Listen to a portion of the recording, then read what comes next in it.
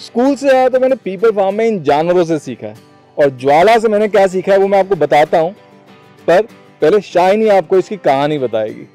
ज्वाला हमारे three wheeler gang में से एक है। ये सभी की चहीती है, यहाँ तक कि बच्चे भी इसके फैंस हैं। और ये खुद भी बहुत खुश मिजाज बच्ची है। लेकिन हमेशा से ऐसा नहीं था।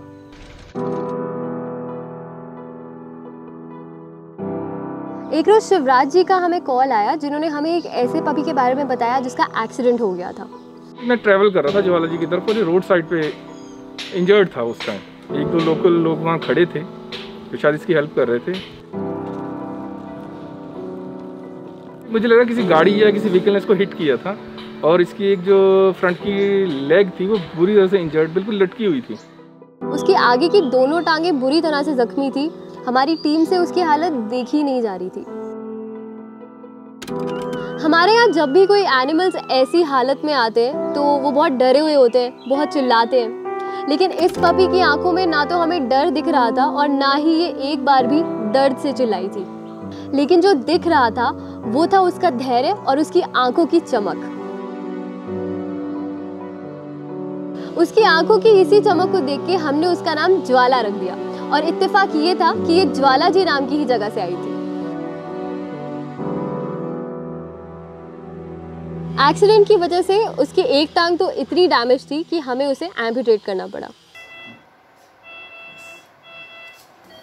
लेकिन एक टांग खो देने के बावजूद भी वो इतनी एक्टिव थी, जैसे कुछ हुआ ही ना हो। बाकी डॉग्स के साथ भी उसको घुलने मिलने में ज़्यादा समय नहीं लगा और जल्द ही सबकी दोस्त बन गई। हमने ज्वाला को अपनी वेबसाइट पे भी लिस्ट कर दिया था, क्योंकि वो अडॉप्ट होने के लिए बिल्कुल रेडी थी। लेकिन उससे पहले ही ज्वाला की लाइफ में एक और परेशानी आ गई। सर्दियाँ आ गई थी और उन दिनों बहुत सारे पपीज पारवों की चपेट में आके दम तोड़ रहे थे। फार्म पे भी हमारे पास जो पपीज थे, उन्हें हम पारवों से बचाने की कोशिश में जुटे थे। लेकिन सारे प्रिकॉशंस लेने के बावजूद भी ज्वाला पार्वो पॉजिटिव निकली। हमने ज्वाला को बचाने के लिए उसे आइसोलेशन में रखने का फैसला किया। आइसोलेशन के समय उसे एक क्रेट में रहना पड़ रहा था।